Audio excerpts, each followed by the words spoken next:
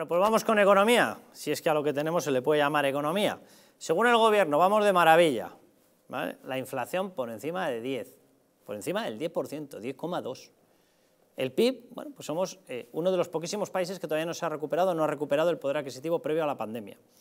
En deuda, bueno, pues en deuda pública, para que ustedes hagan una idea, estamos literalmente en el doble cuando nos metimos en la crisis subprime, en el doble. En déficit, el último año 82.000 millones. Nada, cosí casi de nada, ¿verdad? Eh, ¿Qué más da? Un IRPF entero en déficit de todos los españoles, de todo un año entero, en boquete, en números rojos. ¿Se imaginan ustedes que ustedes tuvieran, en España tenemos dos grandes impuestos, IRPF IVA, y otros más, por supuesto, pero son el esquema, el sustento, luego están las cotizaciones sociales, ¿vale? Pero del sistema tributario tenemos dos grandes. ¿Se imaginan ustedes, o sea, literalmente, pues como una familia, con dos cónyuges, con dos ingresos? ¿Se imaginan ustedes que según se pierde uno entero, ustedes saliesen por ahí y les preguntasen, ¿qué tal están? Y dicen, de miedo, de miedo, acabo de perder un sueldo entero, estoy de maravilla. Pues eso es literalmente lo que nos ha pasado según el gobierno de maravilla. Ahora se lo explicamos todos. Déjenme que les hable de simbiolina y megaflora. Bueno, yo no sé si saben ustedes que el, intestino aloja una estructura que fabrica y almacena el 80% de nuestras defensas. Y es que la flora intestinal juega un papel fundamental en la defensa de nuestro organismo. Simbiolina y megaflora es un complemento a base de inulina, probióticos y vitamina B6, que aporta más de 35.000 millones de microorganismos vivos capaces de atravesar la barrera hacia el estómago y estimular la producción de recursos inmunitarios, así como de proteger nuestras mucosas. Además, la vitamina B6 contribuye al metabolismo energético normal, al funcionamiento normal de los sistemas nervioso e inmunitario y ayuda a disminuir el cansancio y la fatiga. Pueden encontrar Simbiolina y Megaflora en su tienda habitual y en para farmacias Mundo Natural, aunque si ustedes lo quieren comprar a distancia, lo quieren conseguir a distancia, pues también les decimos cómo lo pueden hacer. Lo pueden adquirir directamente en la web para farmaciamundonatural.es o llamando al teléfono 91 446 0000. Simbiolina y Megaflora de Mundo Natural. Bueno, declaraciones de Calviño. Primero escuchamos a Calviño, luego vemos la realidad. Afortunadamente, el Gobierno de España ha venido tomando medidas con eficacia y con decisión para proteger a los colectivos más vulnerables, para amortiguar el impacto negativo sobre los precios en nuestro país y apoyar también a los sectores productivos más afectados, lo cual está permitiendo alinear la inflación de España con la media de la zona euro y situarla incluso por debajo de la media de la Unión Europea. Buena y tan anchos que nos quedamos. Por cierto, eh, Nadia Calviño, el último dato que tenemos de IPC es esta locura, se lo he corregido así a mano y, yo creo que nos entendemos. Aquí fue el ataque a Ucrania, según el gobierno, toda la inflación viene del ataque a Ucrania, ¿verdad? Vale, pues debe ser el ataque a Ucrania modelo Rappel, porque ha ocurrido antes de que ocurriera. Una cosa maravillosa, debe ser la nueva economía Aramis Fuster, ¿vale? Bueno, dicho esto, ¿vale?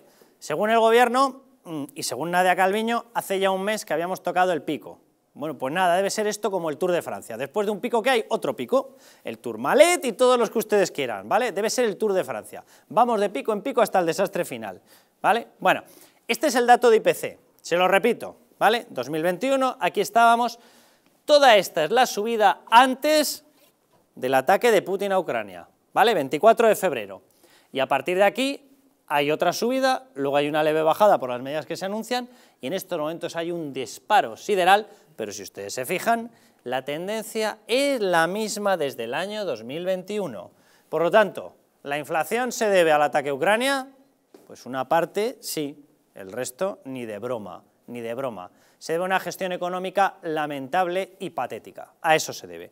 ¿Y cuál es esa gestión lamentable y patética? Vamos con los siguientes gráficos. Cuando tú no eres capaz de generar tu dinero porque te estás dedicando a bombardear a las empresas, a incrementar todos los costes fiscales, impuestos, este gobierno de Pedro Sánchez ha elevado 16 impuestos desde que inauguró su glorioso mandato. Vamos a ver si podemos ir viendo el resto de datos, los datos de deuda y demás. ¿vale?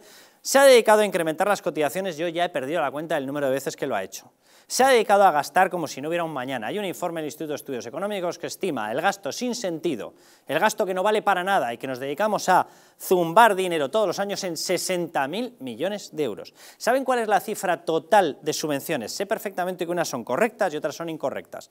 Pero bueno, las subvenciones estaremos todos de acuerdo en que tiene que ser una cuestión excepcional. ¿Saben cuál es la suma de gasto total anual de España en subvenciones? Cada año, 122.000 millones de euros.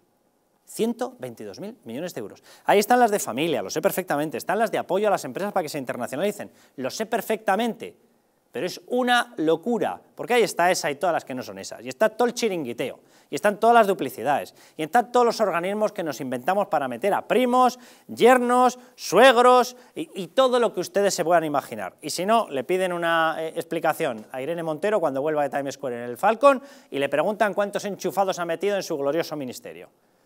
Es impresentable tener semejante derroche de dinero. Bueno, pues eso es lo que ha hecho Aquí tienen la evolución, año 2000, año 2005, año 2010, tira para arriba, año 2015, 2020, y aquí estamos en estos momentos, prácticamente en un 120% de deuda sobre PIB. Por cierto, estos colores son etapa Partido Socialista, etapa PP.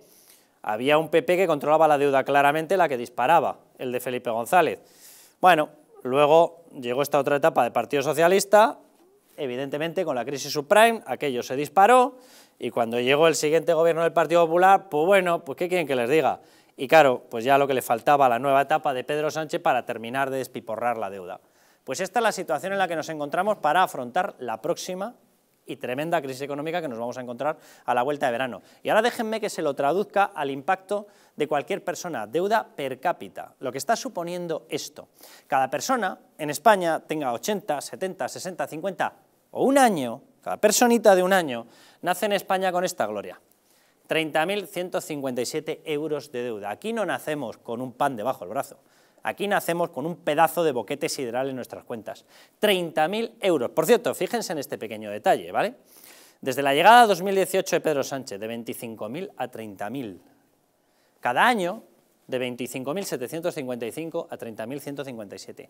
Cada año ha incrementado la deuda de cada españolito porque se ha gastado el dinero que no tenemos y se lo gasta con cargo a nuestra cartera, lo ha incrementado en 1.100 euros. 1.100 euros de incremento de la deuda. Nacemos y debemos 1.100 euros más por año de lo que debíamos en 2018 y en total debemos 30.157. ¿Se han gastado ustedes ese dinero? No, se lo ha gastado él y de esa manera la deuda es suya. Una forma muy curiosa, ¿verdad? Yo invito a gambas y paga el vecino y quedó de maravilla. A esto le llaman ingreso mínimo vital, le llaman escudo social, le llama protección a los más vulnerables. No, perdón, esto es ser vulnerable. Que cada españolito tenga un boquete en su bolsillo al nacer de 30.157 euros es ser vulnerable. Que tengas que estar contando en tus gastos con que hay unos señores políticos que se están zumbando tu dinero es ser vulnerable. Y que encima sepas que todo este derroche no es a mayor gloria de creación de empresas, de España, de empleo, de dinamización de la economía, sino a mayor gloria de enchufes, eso es ser vulnerable. Así andamos. Vamos a ver las grandes cifras y qué ha hecho el Partido Socialista en los últimos tres años. En materia de gasto público, se ha incrementado el gasto público en España 77.000 millones de euros en tres años, sin considerar el impacto de los fondos Next Generation. 77.000 millones de euros. Por lo tanto, han decidido incrementar el gasto público. Por supuesto, evitan hacer cualquier tipo de estrategia de racionalización para intentar suprimir o limitar el gasto improductivo o ineficaz. Ya han dicho que eso es un mantra de la derecha.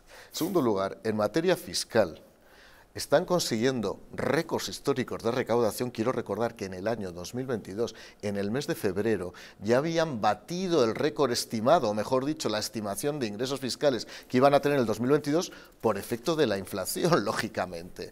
¿Qué es lo que hemos dicho del Partido Popular? Devolvamos el sobreesfuerzo fiscal que están haciendo los españoles a los propios españoles y que ese efecto derivado del envilecimiento del dinero por el cual se tiene una sobrerecaudación tributaria vaya a parar directamente a los españoles. Tenemos, como bien decía, se ha incrementado en 20, en 20 puntos el saldo de la deuda pública sobre el Producto Interior Bruto. El doble que la media de la Unión Europea por actualizar el dato que has puesto, si sumamos ya el saldo vivo de deuda que hay en el 2022, cada español en los últimos tres años se le han dosado 6.000 euros adicionales de deuda pública. Es decir, que una familia de cuatro miembros, eh, Sánchez le ha endosado 24.000 euros de deuda pública. Una locura. Una locura porque es una quinta parte del saldo vivo de deuda pública, solamente en tres años. Esa es la realidad. Y decimos, bueno, y si después de todo esto somos los mejores de Europa, pues a lo mejor, oye, las soluciones socialistas y comunistas tienen una lógica, tienen una racionalidad aplastante. Pues no, somos el país de la Unión Europea con menor nivel de recuperación de los niveles de riqueza previos a la pandemia. Somos el país de la Unión Europea con mayor nivel de desempleo el doble que la media de la Unión Europea. Somos el segundo país de Europa, solamente adelantados por Grecia, en este caso en el ranking de lo peor, con mayor tasa de desempleo juvenil. Somos el segundo país con mayor tasa de desempleo femenino. Tenemos el mayor desequilibrio primario en cuanto a las cuentas públicas. Y en este sentido, y basta con comprobarlo, cada uno cuando va a hacer la compra se da cuenta que de una manera u otra prácticamente se ha incrementado la cesta de la compra en un 20%, y quiero recordar una cosa, que son los efectos de segunda ronda de la inflación, que ya hablabas exclusivamente de la inflación, los efectos de segunda ronda que hay, porque un punto de inflación en España, si indexáramos las pensiones o el sueldo de los funcionarios, en pensiones, un punto de inflación suponen 1.700 millones más al año. Y en materia de retribuciones de los empleados públicos, un punto de inflación suponen 1.450 millones más de, eh, de, euros en el caso que se quisiera compensar esa desviación. Pero con esto que dices, Mario, además, básicamente se resume en, oye, no están haciendo un recorte de gasto público y encima el gasto público no está siendo en algo eh, rentable o en algo en el que haya un retorno de, de la inversión. Patéticos son unos incapaces, pero es que encima en la situación en la que estamos de inflación, precisamente están subiendo los tipos para intentar eh, acabar con la inflación. El problema que tiene España, el problema que tiene España es que vamos a estar en el borde de esta inflación, porque evidentemente la deuda pública, el coste de la deuda pública se va a disparar, no están recortando, no están amortizando deuda, no están recortando el gasto público, y esto nos va a llevar a una situación eh, de colapso, una situación en la que nos vamos a encontrar que no vamos a crecer y encima la inflación va a subir. El coste financiero del bono a 10 años en 8 meses ha encarecido un 300%. Una barbaridad. Un 300%, una verdadera barbaridad. Una barbaridad. Vamos a ver lo que decía en abril de 2022. El último dato ya lo han visto. El último dato de IPC, 10,2. Se ha vuelto a disparar. Tenemos una ministra de Economía y vicepresidenta que nos la han vendido siempre como la persona de la credibilidad, la persona, la ley, lo digo de una forma llana, pero lo vendían así, decían, no es la lista, es la ministra lista. Bueno, eh, la ministra de la credibilidad fue la que nos dijo al comenzar la pandemia que no iba a pasar nada, que el impacto iba a ser poco profundo, que no iba a ser un impacto hondo en la economía. Bueno, fue la mayor caída desde la posguerra civil. Esta es la capacidad de análisis.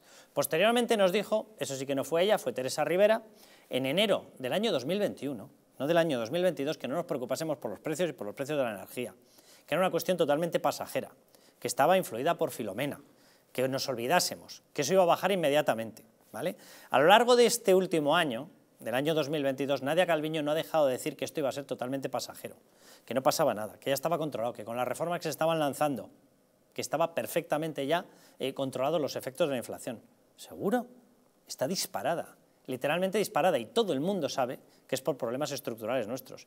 Hiperdependemos de un gas que tenemos que comprar y encima, como se ha cargado las relaciones y el Tratado de Amistad con Argelia, se lo estamos teniendo que comprar a Estados Unidos, que es un gas por fracking y traído en metanero, que hay que primero licuarlo y luego regasificarlo. Y eso tiene unos costes, obviamente. Resultado, estamos pagando mucho más caro.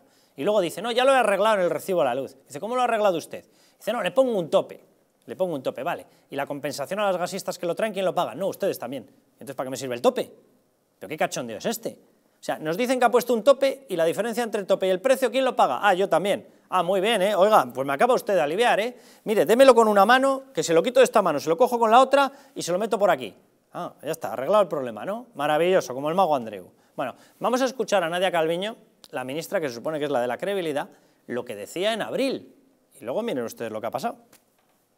En este momento, lo decías, eh, lo decías tú, eh, querido Javier, eh, en este momento, ¿cuál es la preocupación principal que tenemos? la inflación. evidentemente, el alza de los precios de la energía y de otras materias primas, las disrupciones en las cadenas de suministro globales están llevando a un alza de los precios. Pero bueno, es una preocupación que nos, que nos ocupa y que tenemos que tratar de atajar cuanto antes en este momento todo apunta a que ya hemos dejado atrás en marzo el pico de inflación y que en la segunda parte del año se irá ralentizando para bajar al entorno del 2% el año próximo.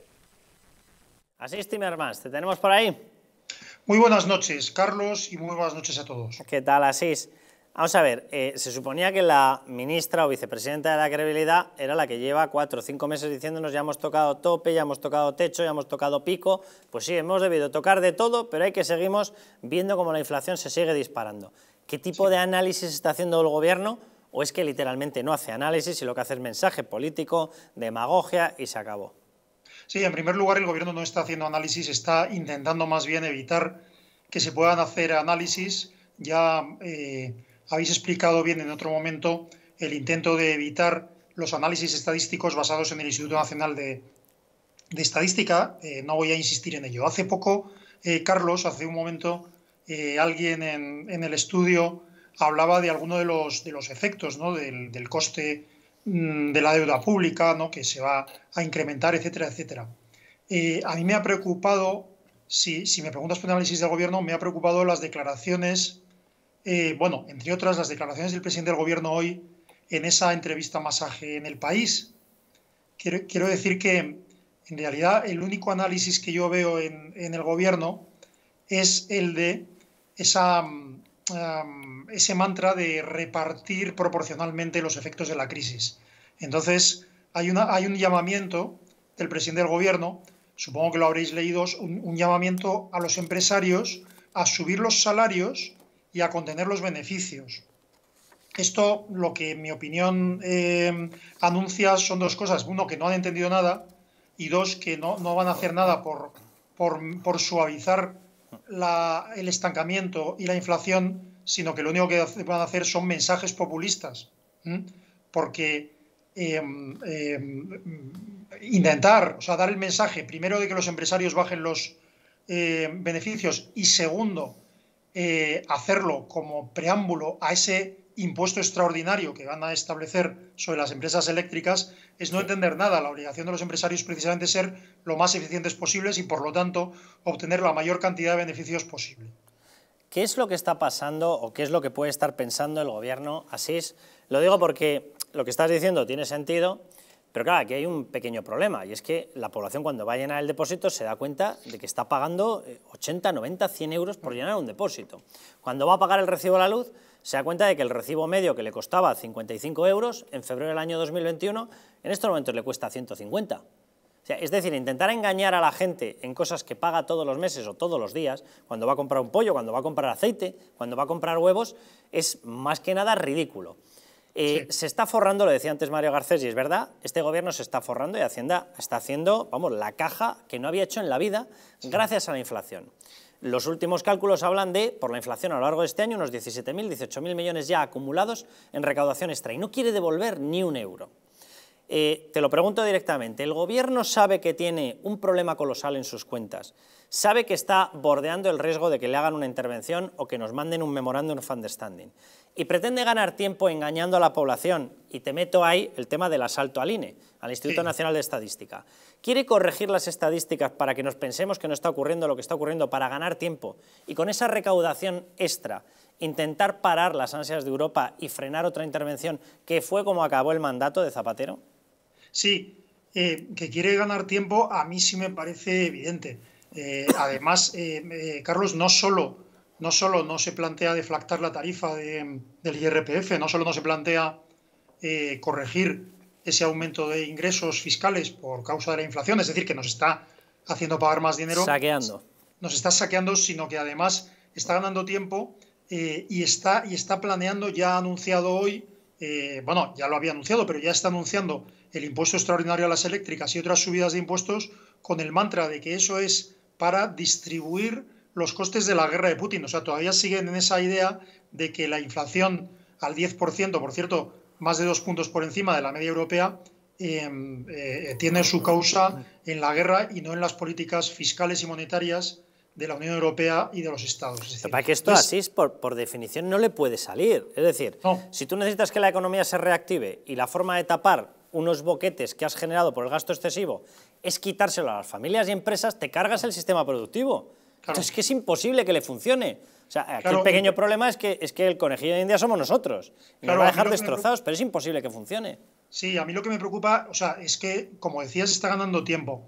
El problema es que cuanto más tiempo gane, peor, peor va a ser la situación. Totalmente. Porque, claro, porque, a ver, a ver, ya es tarde, pero pero cuanto antes es el momento para reducir el gasto público, aunque solo fuera Carlos, porque va a ser necesario para situaciones de emergencia. Es decir, el, gasto público es tan monstruoso eh, y tan catastrófico que no va a dejar eh, margen pues, para gastos que sí van a ser necesarios cuando verdaderamente eh, se produzca una reducción de ingresos. Así, ¿tú crees, que, ¿Tú crees que le sale bien la jugada, que gana tiempo y agota el mandato, o que se ve abocado a tener que convocar elecciones anticipadas? Yo, yo, yo, yo, soy, soy, soy mal adivino, si, si apuesto por un billete de lotería no juegues nunca a él, pero yo creo que no va a poder terminar el mandato.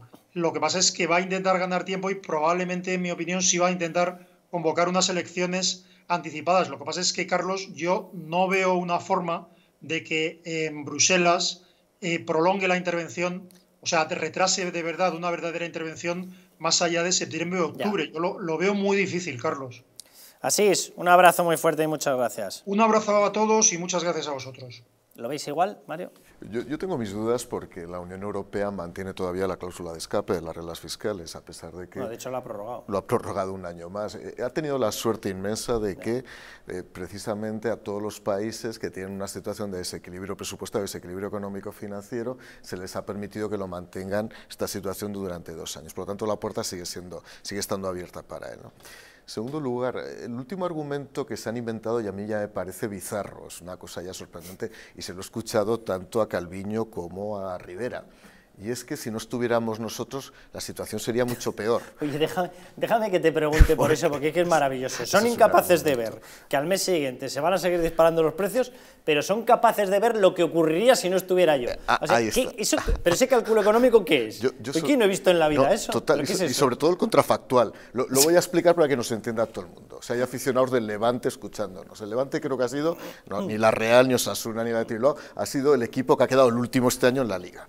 Pues imagínense que cuando faltaban 10 jornadas para acabar, apareciera el presidente Levante o el entrenador diciendo, bueno, somos los últimos, pero de no estar nosotros tendríamos la mitad de la puntuación. O sea, pues yo lo que no quiero ser el último, yo lo que quiero es permanecer. Pero, técnicamente, ¿existe algo que soporte semejante afirmación? Ninguno. ¿Hay alguna forma de hacer un cálculo de si yo no hubiera estado, qué hubiese pasado? Ningún contrafactual. Y otro tema, hablando del INE, porque pasó muy desapercibido, en la ley audiovisual, se introdujo en el último momento una enmienda transaccional por la cual se modificaba la ley de la función estadística y se deslegalizaba la organización y el funcionamiento del Instituto Nacional de Estadística, algo que no había pasado en 30 años. Toda la regulación estadística en España estaba sujeto al principio de legalidad material. Se, metió, en se metió en la ley audiovisual en una enmienda al final y se dice, a partir de este momento, la regulación de la organización y funcionamiento del INE se hará por decreto de Consejo de Ministros. Antes estaba sujeto a la legalidad y tenía que ser aprobado en Cortes Generales en un debate parlamentario. Eso pasó muy desapercibido. Y esto fue hace un mes. Hace un mes. Y fijaos lo que ha pasado ahora. No lo han metido, no sé, en vez de en el Boletín Oficial del Estado, en el Don Mickey de puro milagro, en la página 386. Tal cual. Y luego está el tema del impuesto de las eléctricas. No han podido hacerlo a través de un decreto de ley, porque como bien sabéis, un decreto de ley no puede modificar sustancialmente una figura tributaria, lo tienen que hacer a través de un proyecto de ley. Eso es un límite constitucional, evidentemente, pero imaginaos cualquier operador internacional que puede pensar si cada vez que hay un problema de financiación, lo que hay que hacer es establecer un impuesto sobre los operadores económicos, sobre la cuenta de resultados de los operadores económicos. Pues que no va a venir nadie a invertir. O sea, fallan al diagnóstico, fallan cuando les molesta los datos objetivos, se subleva el gobierno contra los datos objetivos. Pero si es que le echan gasolina al fuego, le echan gasolina al fuego, dicen, me preocupa la inflación y establecen unas relaciones en las que nos enfrentamos con Argelia que nos, limita el gas, con lo cual nos aumenta el precio de, de, la energía, con lo cual aumenta la inflación. Estos tíos son unos incapaces, son unos patanes, son patanes. Vamos a publicidad y volvemos ya.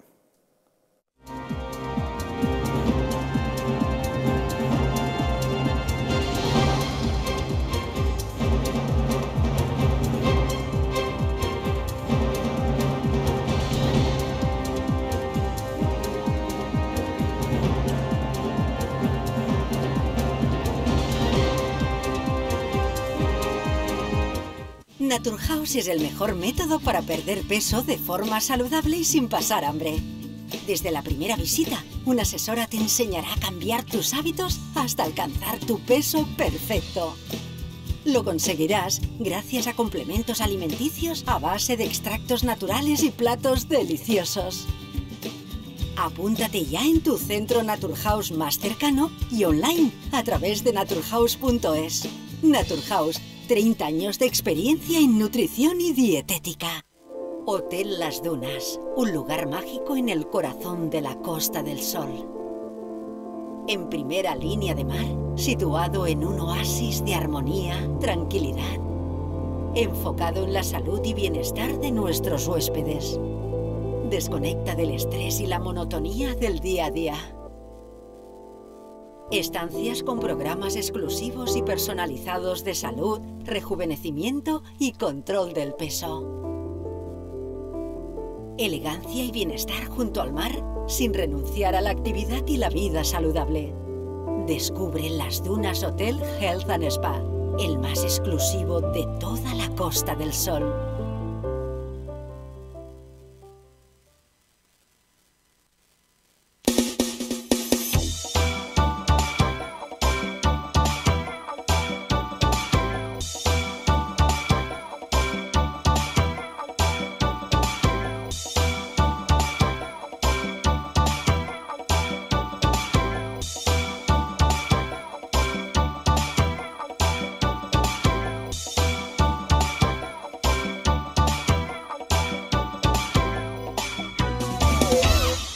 Estás a solo unas horas de que para farmaciamundonatural.es te haga llegar tu pedido con regalo incluido. Más de 25.000 productos de las principales marcas.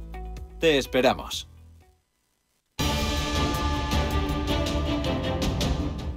¿Estamos en un auténtico Estado democrático o estamos en una patritocracia? Porque este programa se hace para ustedes. La ciudadanía está quedando atónita a lo que estamos viendo. Vamos a ver cosas que nunca se imaginarían. Lo que ha pasado en España demuestra que Falconetti no es tonto. Que la democracia, ¿qué es lo que es, amigos? El imperio de la ley. Esta izquierda rancia lo que quieren es exterminar todo aquello que no piensan exactamente igual. El castigo va a ser terrible para todos los partidos. Recuerden que no les engañen, porque la verdadera libertad consiste en estar bien informados.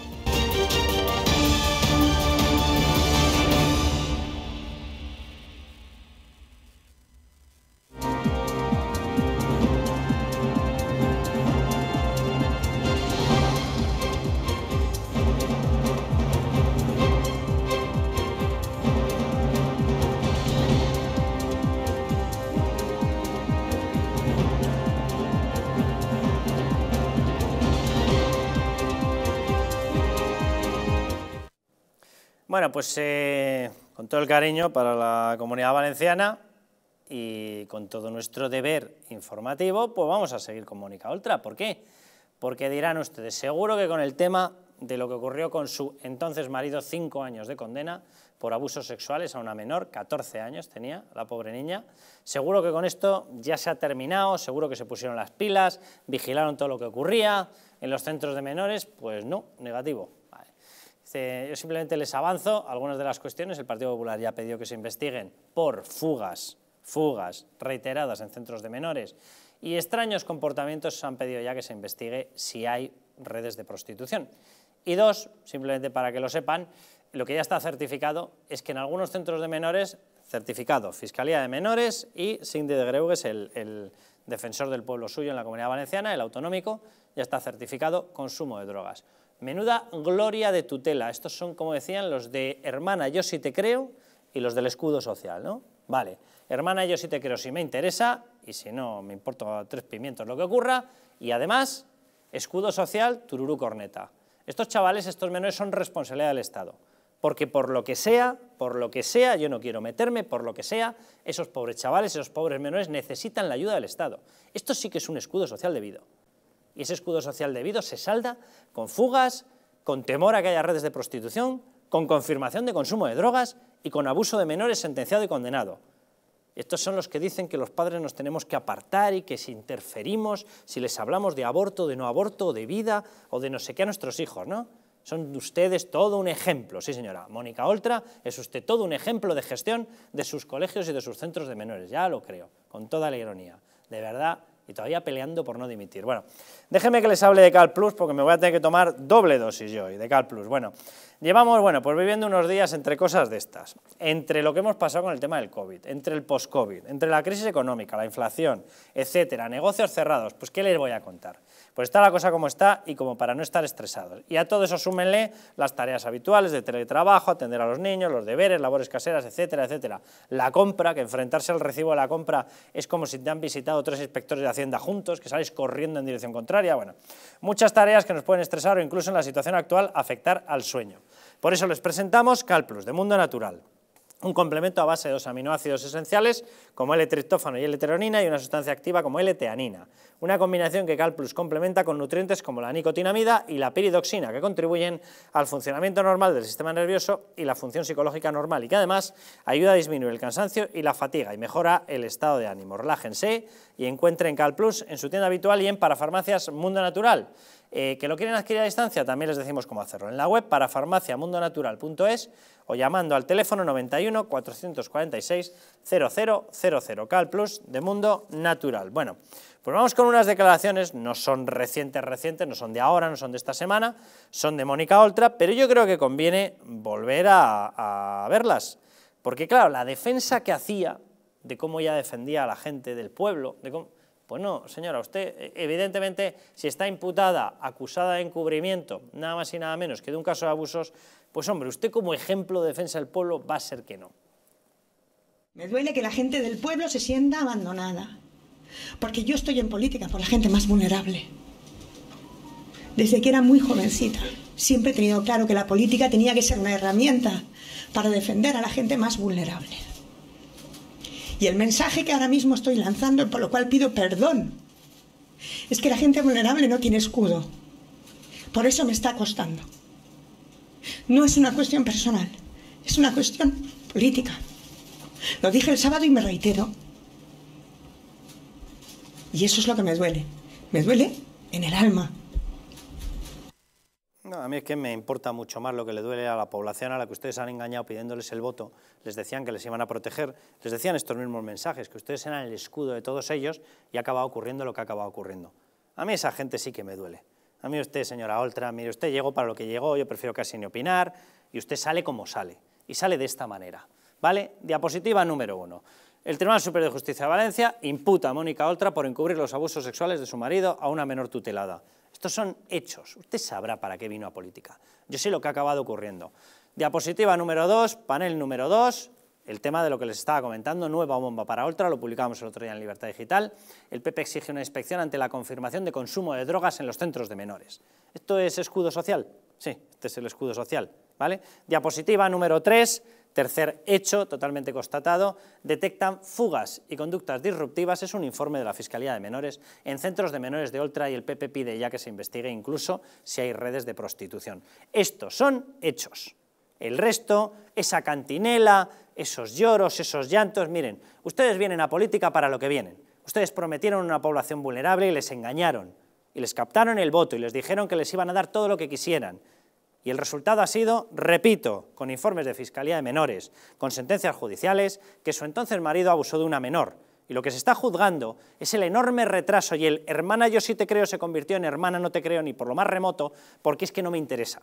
¿Vale? Y eso es lo que está investigando en estos momentos un tribunal. Y está imputada Mónica Oltra por un posible encubrimiento de nada más y nada menos que abusos a menores. Y drogas. Y fugas y conductas que se han estado permitiendo o haciendo la vista gorda. Y resulta que un partido, el Partido Popular, tiene que acabar ya pidiendo explicaciones y dice, oiga, es que esto huele muy raro, ahí hay redes de prostitución, entonces déjeme de yo vine aquí y yo lloro allá. Ustedes venían para proteger a una población vulnerable y han hecho exactamente lo contrario. Y mientras sus amigas, por cierto, de viaje, pagado con los impuestos de todos los españoles, de viaje en Nueva York. Irene Montero, Isa Serra, de viaje y sus compañeras, ¿vale? Las de Yolanda Díaz, la plataforma, el Frente Amplio, venimos a regenerar Ada con la imputada, usted imputada, pero ¿qué cachondeo es este? Pidieron el voto a la población vulnerable y le han engañado, literalmente. Bueno, es el camino de la regeneración a la degeneración. O sea, eso es lo que es realmente Podemos y todas sus terminales, ¿no? Es verdad que estos llegaron bajo esa especie de dogma permanente de que venían a abatir a, las élites capitalistas, a las élites corruptas, y ellos se han convertido en una forma doble de corrupción. La corrupción interna, la que se manifiesta en la ocultación, en el encubrimiento, y sobre todo hay una que es peor incluso, que es la corrupción intelectual y moral. Es decir, ya no sois lo que decíais ser. Y el problema es que se ha descubierto. Han quedado completamente al desnudo su verdadera esencia. Yo cuando era secretario de Estado tuve la ocasión de trabajar con Mónica Oltra cuando era vicepresidenta hasta ahora del Consell de, del Gobierno de la Generalitat Valenciana y, debo reconocer que tenía una gran habilidad negociadora pero a la vez tenía una gran capacidad de manipulación. Y voy a contar una anécdota, si me permites, muy brevemente, cómo la conocí.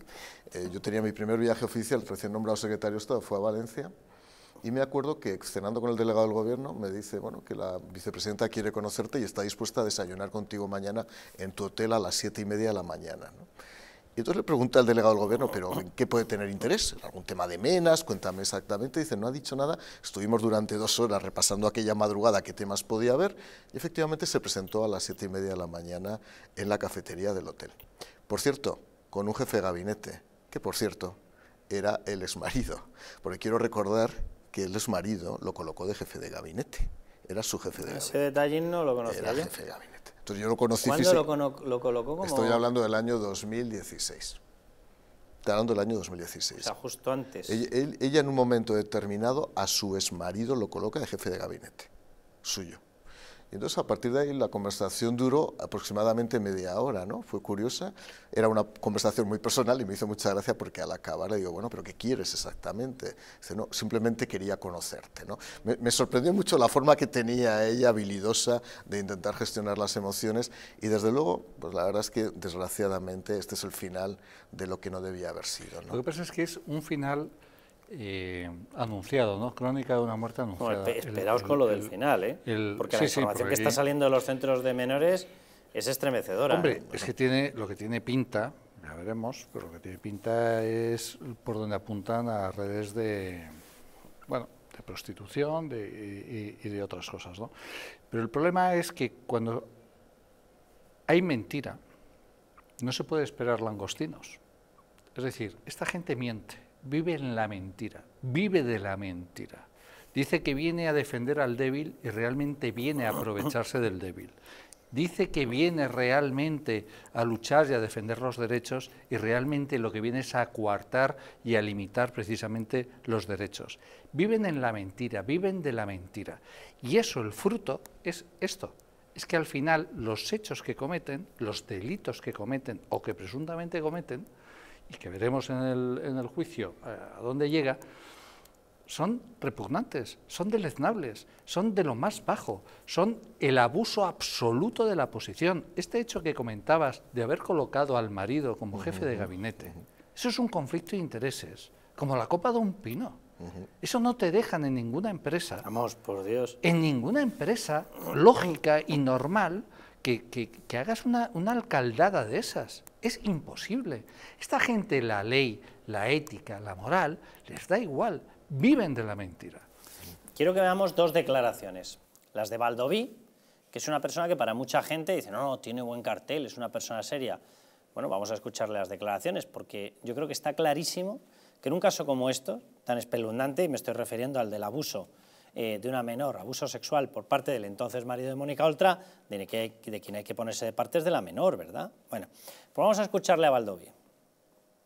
Sí, mm, igual que Mónica Oltra ponía incómodo a, muchos poderes económicos y por eso, en definitiva, hay una cacería a todos los políticos de izquierdas para intentar eh, mm, conseguir lo que no se consigue con, las urnas. Estoy perfectamente de acuerdo, aunque a veces creo que Sánchez es menos ambicioso y menos incómodo de lo que debería ser.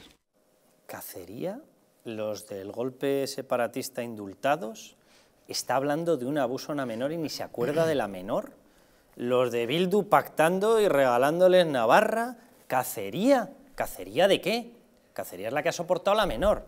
Y ahora vamos a ver a la persona que la ha sustituido y que ha sido aceptada por Chimo Puig, Partido Socialista, presidente de la Generalitat Valenciana, ha sido aceptada como la persona que ha sustituido a Mónica Oltra. Atención a lo que opina de lo que ocurrió con aquello y de lo que está pasando con Mónica Oltra. Nada más. Mònica, no, no la teua substituta, perquè tu eres insubstituïble. Gràcies per haver-te deixat la pell cada un d'estos dies, pel teu compromís indestructible en millorar la vida dels ningú. Gràcies per haver canviat la història d'aquest xicotet país. Bueno, desde luego, la historia que sí que han cambiado es la de la pobre menor. Eh, por cierto, y además lo recuerdo mencionando ya hechos confirmados y que los hemos publicado en Libertad Digital. Después de los abusos de menores eh, y de no dar credibilidad a la denuncia, no fue apartado, no fue expulsado de ese centro el marido, con lo cual el entonces marido siguió estando en la cercanía de la pobre niña abusada. Cuando ya por fin consigue la pobre niña abusada, por cierto, eh, en el tránsito tuvo que desfilar por un tribunal, ella que era la denunciante, esposada. ¿Eso para qué se hacía? ¿Para amedrentarla? para dejarla claro, para dejarle claro que se estaba enfrentando a los poderosos, para eso, ¿verdad? Vale.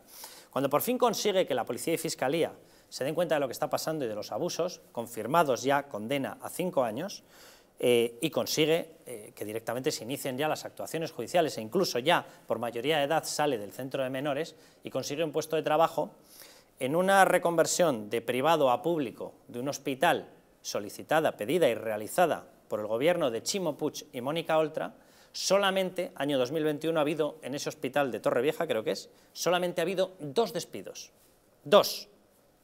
El de la menor y el de su pareja. Los únicos dos despidos en el momento en el que es reconvertido de gestión privada a gestión pública ese hospital. No está mal, ¿eh? El resto les parecieron perfectamente asumibles. Las dos personas que fueron expulsadas, fastidiándoles la vida, la menor y su pareja. ¿Cómo le llamamos a eso, señor Valdoví? ¿Le llamamos cacería? ¿Le llamamos venganza? le llamamos ira, le llamamos maldad, ¿cómo le llamamos? Todo ello, ¿verdad? Abuso de poder. Eh, y, sobre todo es terrible, y no solamente en la comunidad valenciana, sino también en Baleares.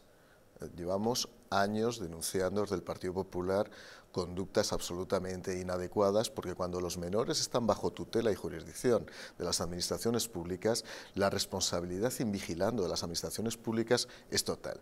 Y me preocupa lo que has dicho, Carlos, ese proceso de victimización y revictimización del culpable, que empieza a ser un proceso complejo, que por cierto, lo ha empezado a estrenar ya últimamente Sánchez cuando el otro día dijo que se sentía víctima de un boicot de los poderes económicos porque él era incómodo. Solo los perdedores se presentan como víctimas de un boicot que no existe, que esa es la máxima expresión de que Sánchez está prácticamente muerto políticamente. Yo solo pido una cosa, que se investigue objetivamente, sea donde sea, cualquier administración pública. El derecho a la infancia tiene que ser extraordinariamente protegido. Y lo que no se puede hacer es aquí convertirse en una Dalí regeneracionista y decir que vienes a la vida pública con el objetivo de oxigenar la vida pública y dar las máximas garantías cuando te puedes haber convertido en una encubridora según se hace por la pues investigación judicial de lo que ha ocurrido. Lo, lo que hace la izquierda. Y es que al final hace apología del crimen que cometen. Lo mismo que pasó con María Sevilla, que eh, raptó a sus hijos, fue condenada, la indultaron y Irene Montero, una ministra, hizo apología del crimen condenado en, un juicio. Pues desgraciadamente es que esta gente no tiene ningún límite. Es que para ellos está permitido todo absolutamente cualquier tipo de crimen. Por eso tienen entre sus eh, socios de referencia a Bildueta, por eso tienen de referencia pues, a los golpistas, porque realmente para ellos lo importante es mantenerse en el poder a costa de lo que sea, incluyendo del abuso a menores.